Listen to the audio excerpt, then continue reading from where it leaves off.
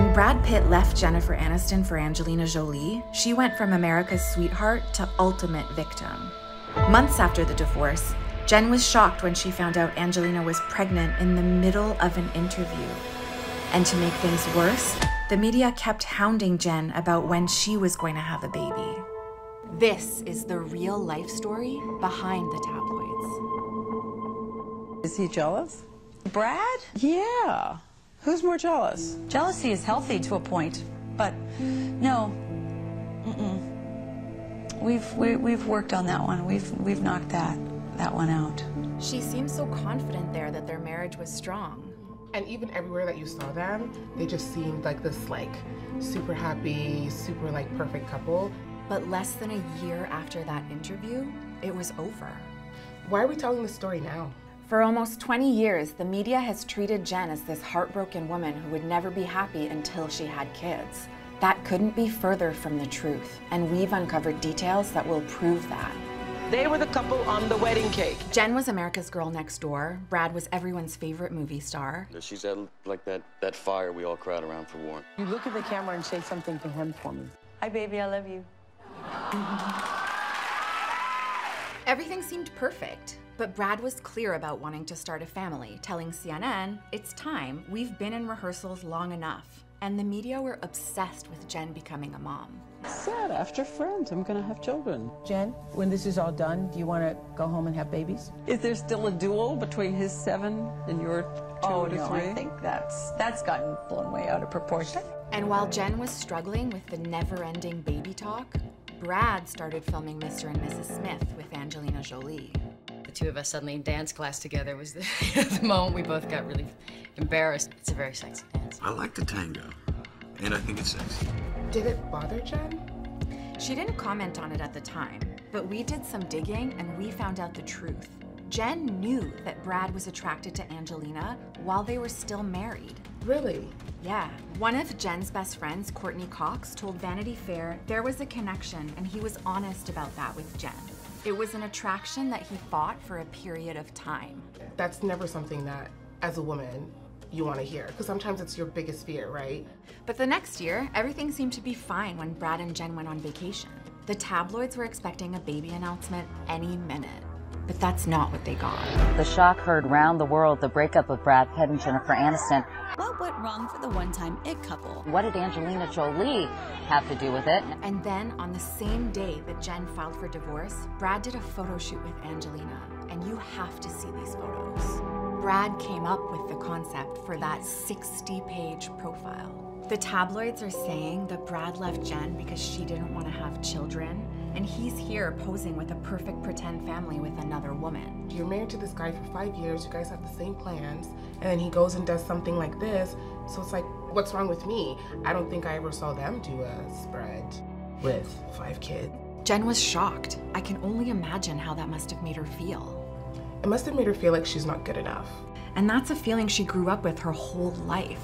My mom and I always had sort of a push and pull kind of a relationship. It didn't instill a lot of uh, security in how I felt about my physical appearance just because she was kind of always telling me what to do and how to do it. So she was already carrying that insecurity when Brad left her. And to make things worse, it seemed like now Brad had this new built in family. Brad, Angelina, and her adopted son were everywhere.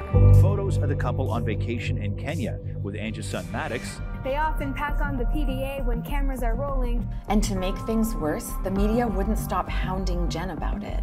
You did say what Angelina did was very uncool. You did say that. He asked me a question and I answered it as honestly as I could. And then Jen was blindsided when she found out some devastating news in the middle of an interview. I understand she cried for a period of time during the course of the interview when you talked to her about Angelina Jolie being pregnant with Brad Pitt's baby, and her eyes welled up with tears, and she got very, mm-hmm. very emotional at that point. Wow. But Brad wasn't the first person to betray Jen. Someone else she had trusted had let her down before. Who's that? Her mom. Her mom? What do you mean? The year that Jen and Brad got married, her mom published a juicy tell all book about raising her. She cut off all communication with her mom. The year before the divorce with Brad, when she saw the book for the first time, it was too much for her to handle. Oh my God, where did you get that? I got that out of the book she wrote. Oh, Jesus, I've never looked at it. Wow. I never saw this. Sorry. But are you surprised at yourself that you can't let it go? I've, I've definitely tried. Now we're sort of standing in our corners just waiting for the other to approach. Between the book that her mom wrote and the photo shoot with Brad that he had with Angelina, it seems like there was no consideration for Jen's feelings in any of those instances. And that's really sad. Jen was trying desperately to heal. She was living alone with her dog, she only saw her best friends, and she was trying to build herself back up through therapy. Have you had to shed some tears? tears. So I shed some tears in all the self-help books and sort of intellectualize it, but the truth is, and you sit there going, well, how do I do that? How, you know, and you're frustrated and then you get down on yourself because you're not there yet. But as Jen dug deeper to move past her heartbreak, she had a powerful thought. She told Vanity Fair, relationships are two people. Everyone's accountable. Even if it's 98% the other person's fault, it's 2% yours. You can only clean up your side of the street. There wasn't anything that could be done about Brad, but there was one relationship she was determined to fix. Your mom? Yes. There's news? Yeah, it's been really nice. It's crazy what, you know, your life kind of being turned upside down will lead you to. It's always, it's always some really wonderful things that end up coming out of it. And I, I think, you know, for, for us, it's it was the time and it doesn't feel good to, to harbor anger and resentment. We, we do have tools to work through stuff. Everybody does. Hearts mend. But the media didn't want to talk about that. They wouldn't let go of this image that jen was miserable without kids. So they continued to hound her about whether she was ever going to have a baby. And then one day changed everything. I kind of hit a wall. I was pretty raw at the time. Just came back from a vacation. My mother, she passed. It was a really extraordinary experience in time. And we were mobbed, like a scary kind of mob. And then it turns out that another wonderful photograph, picture of me with a bump and a circle around my stomach with an arrow pointing to it, in just this sort of disgustingly objectifying kind of way. And I was just fed up with it. Jen published an article in Huffington Post writing, We are complete with or without a mate, with or without a child. We get to decide for ourselves what is beautiful when it comes to our bodies.